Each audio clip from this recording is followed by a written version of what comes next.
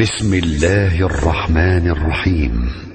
أرأيت الذي يكذب بالدين؟ فذلك الذي يدعو اليتيم. ولا يحض على طعام المسكين. فويل للمصلين الذين هم عن صلاتهم ساهون. الذين هم يراءون ويمنعون الماعون.